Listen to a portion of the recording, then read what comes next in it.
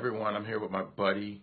He is uh, close to a little bit more than 12 weeks out from a massive rotator cuff tear where he basically tore pretty much all tendons in his shoulder.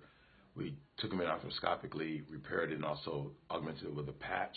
And so um, he's back for his follow-up. How are you feeling? Good. Good. Can you show him your uh, your motion now?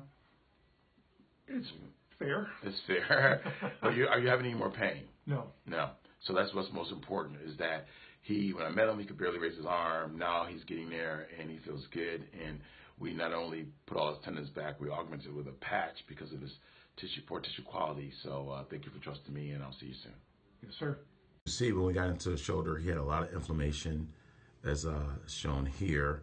In addition to that, you can see his whole rotator cuff is torn off. This is the cuff. It's supposed to be over here.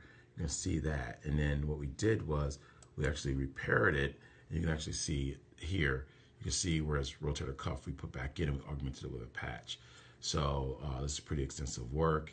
And then he had a large bone spur, which is here, and we had to remove that, and that was the cause of all his uh, problems for many years.